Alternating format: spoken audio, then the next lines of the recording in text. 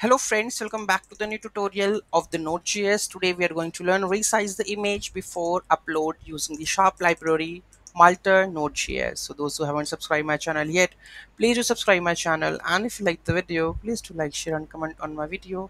Let's get started. So here we go with the API endpoint. So I'm going to resize. So here we go with the any of the image I'm going to picking up and just try to this not I think we require the JPG files okay? So let's try to this one again. Okay I just forgot one thing. That is restart. I haven't restart I guess. Okay let's try to save it. Image uploaded and the resized. So here we go with this one. So resized image is there. And the original image you have seen that is a bigger one right? Okay so here we go with this one? Let's have a look. And what about another one? Jpeg this is also uploaded. And this is you can see that the resized version of that one. Okay let's dive into the code level. So here we are using the express multer sharp okay so you make sure you have to install the libraries fnpm packages. Then set up the multer for the file uploads okay the storage.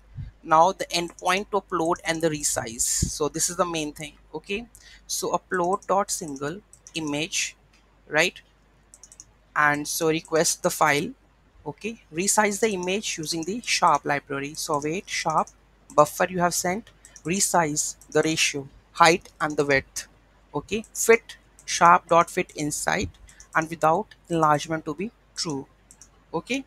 Then save the resized image to the disk in the uploads one with the name resized with the date dot jpg okay?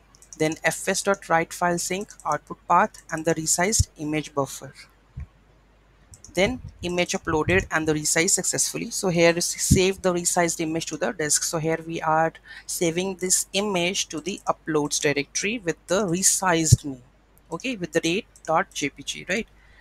And fs dot write file sync okay then uh, send the status that image uploaded and the resize successfully. If something goes wrong then it will be printed console dot error error in resizing the image right?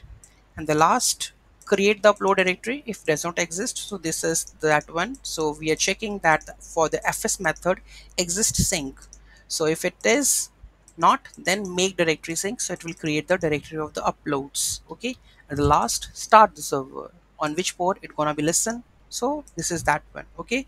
So this is how you are able to resize the image before upload using the sharp multer node.js any doubt any query in that do let me know in the comment section. Thank you so much for watching this video. Have a great day. And don't forget to like share and comment on my video.